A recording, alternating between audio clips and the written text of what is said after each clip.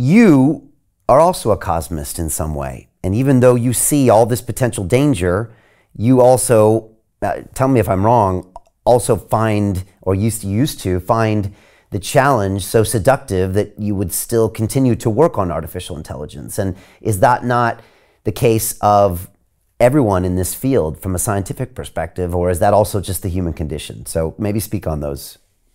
Okay, it's uh, yeah, it's a fascinating question. Um, yeah, I've been retired for 13 years now. Yeah, I got fired in 2010, and I had enough money saved from my pension when I was a professor in America.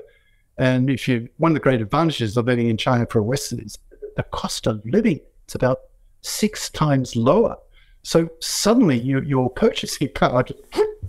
so I was living uh, as a when I was a professor in China, being paid an American salary, pretty much. Otherwise, I wouldn't have gone. So they, they had to give me an American salary. But my purchasing power was greatly superior to what I was used to in America.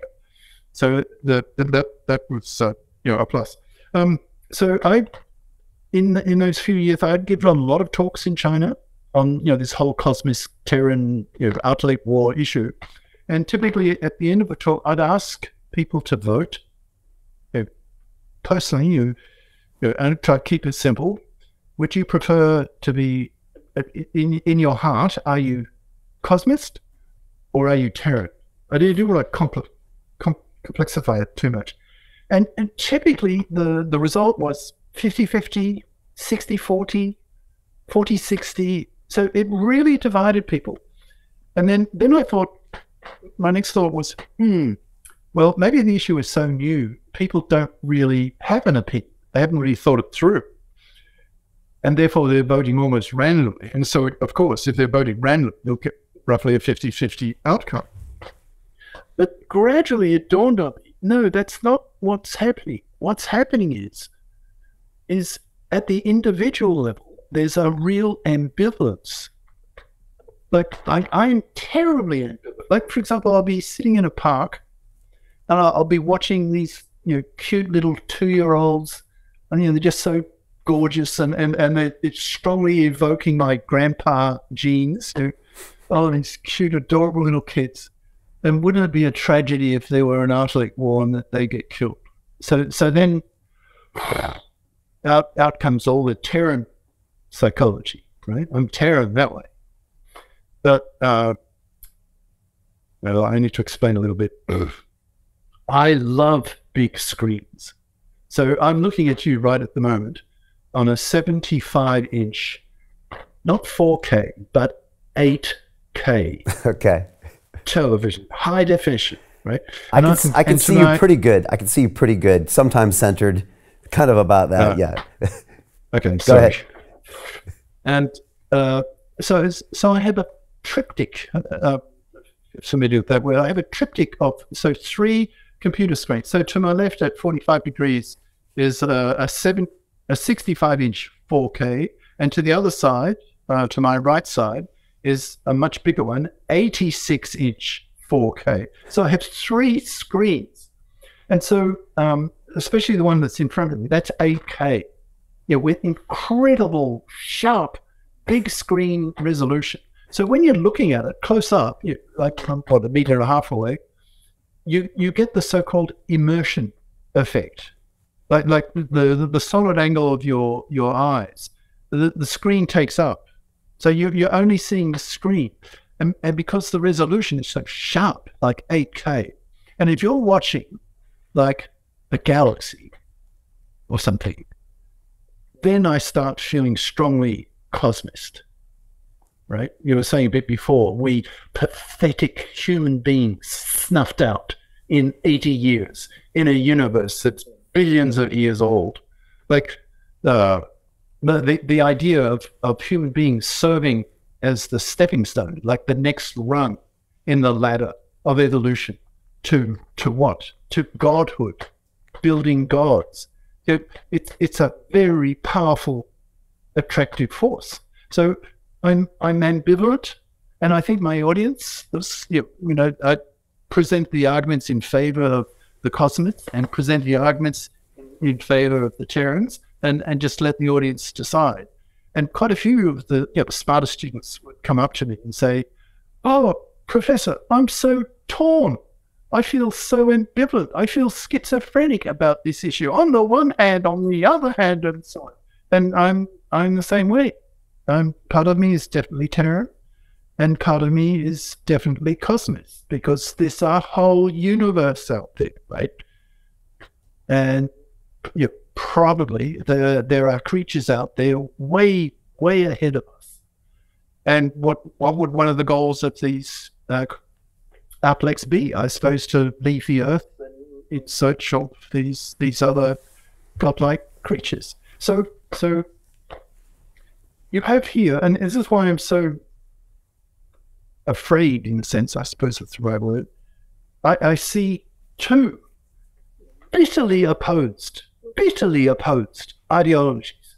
On the one hand, the, the Terrans will be saying human beings are the sine qua non.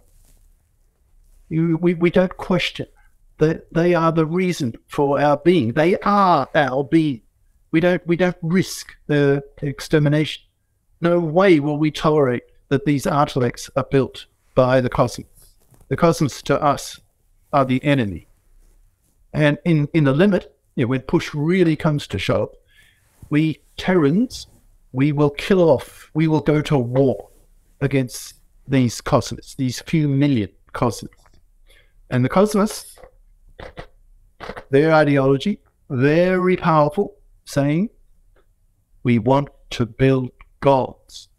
There's a whole universe out there, you know, kind of cosmic consciousness. You're not going to stop it anyway for the, you know, the two momentum arguments I gave before, you know, economic and, and military, uh, political, military. So you're not going to stop it.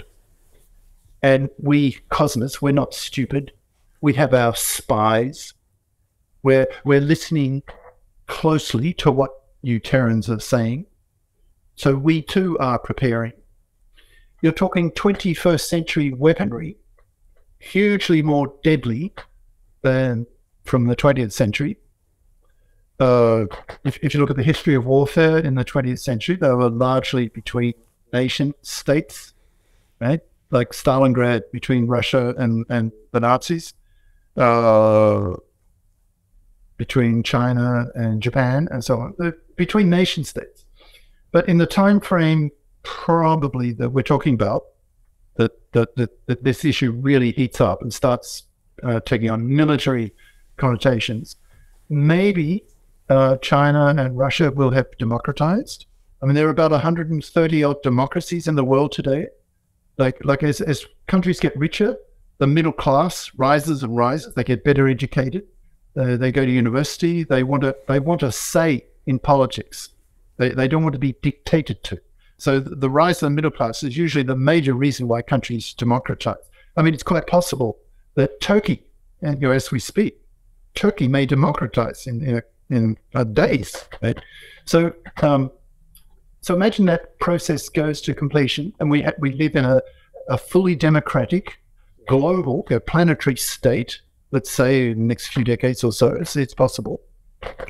And then imagine you are a planetary politician and you're Terran. What would your strategy be? What would you do?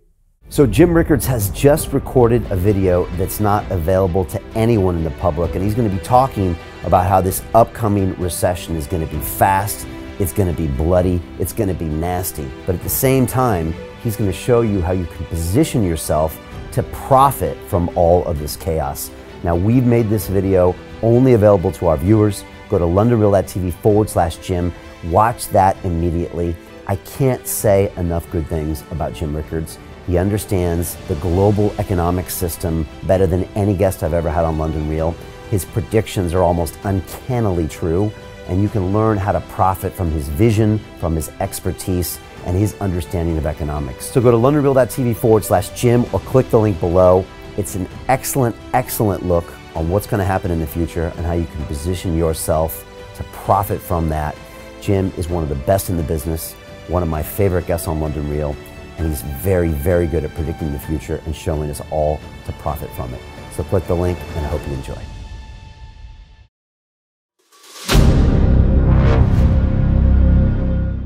I'm looking for partners, collaborators, colleagues who want to join forces with me around the globe and create real value, generational wealth, and financial freedom for everyone else around the world. Get involved in the cryptocurrency markets, get involved in the NFT markets. This is your moment. Life all comes down to a few moments. Don't let this pass. Now it's not too late. Next year is going to be too late. Ultimately, this is about freedom. That's the way I see it.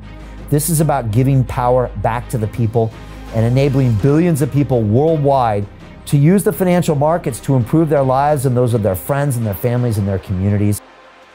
Honestly, I think it's a violation of human rights not to allow people basic access to financial services. Because right now, people are being kept in the dark, they're being robbed of education, and it's a travesty. And so I'm looking for people that want to join me and be a part of this solution. And that all happens inside the DeFi Academy. The gains my students are making are absolutely amazing. Double, triple digit gains in the first month alone. That's amazing. This will change your life. Now is the time to get involved.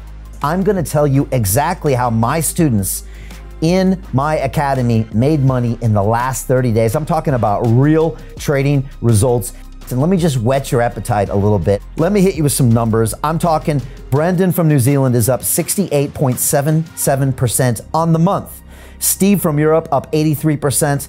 Albert in Singapore up 169.9% on one single trade. I got Susan up 153% on her call options alone, also rocking 139% returns and 442% returns as well on individual trades. These are people that are changing their financial future in the last 30 days, but it's based on trading discipline.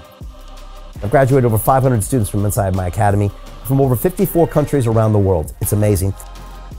When it comes to crypto, DeFi, and blockchain, we love this space. We truly believe it's the future. This is down to our core. It's authentic to what we're doing, and everybody can tell through the camera because you can't make this stuff up. If you're watching me now, wherever you are, I implore you take 60 seconds right now and join my academy. Apply today. Now you've got a chance. Life all comes down to a few moments. What are you going to do? What's the choice that you're going to make?